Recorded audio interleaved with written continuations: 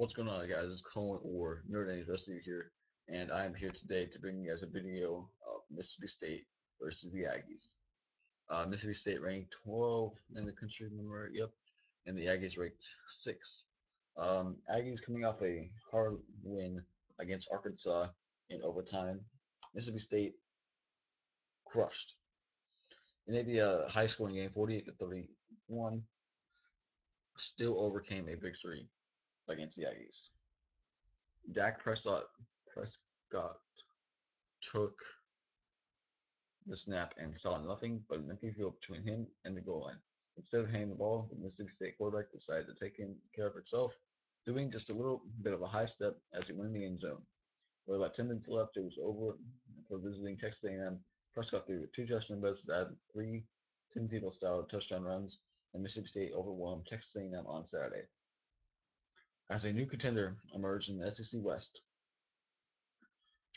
That is a very big statement for the Mississippi State Bulldogs because Mississippi beat Alabama, LSU went down, Auburn won. Well, Auburn's on the other side, I think. Yeah, Auburn's on the other side. Never mind. Um, but still big. Mississippi won and Auburn won against Auburn. The other side. Oh my God. All right. I don't really know the SEC really that well, so I'm just of sporting out. I'm a Notre Dame fan. If you can't tell, right there. There. Yeah, so I don't really follow conferences that much besides the ACC because, you know, we're in the ACC. That's pretty much it. Um, this is a two minute highlight video of Mississippi State versus LSU. Let's go to the other Mississippi team. Ole Miss, Bo Wallace in charge. The Rebels rallied to stun the Tide gotta be honest with you, I really wish Alabama won. I really do not like Ole Miss. The only reason is because Harrison keeps talking about him non-stop. I'm like, shut up, Harrison. Oh man, I, I just don't. I want the Aggies win next week against Ole Miss. So let's go Ole Miss to lose.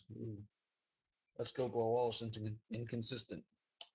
That's the main reason I think Mississippi State has a better chance of getting in the playoff. My final verdict is going to be uh, number one, Auburn. Two, not this week, the whole final verdict. Number two, Notre Dame. Three, got to be either Ole Miss or Mississippi State. I'm going to say Mississippi State now. And four, I think it's going to be Oklahoma, and they're going to they're going to come back into the stadiums after the tough loss against TCU. There's still more to come. I don't. That's not my final verdict. That's just my statement right now in the season right now. So thank you guys for watching this video, and I'll see you guys all later for when we bring you guys some more videos on the Big Ten, Big 12. Thank you guys for watching, and I'll see you guys all later.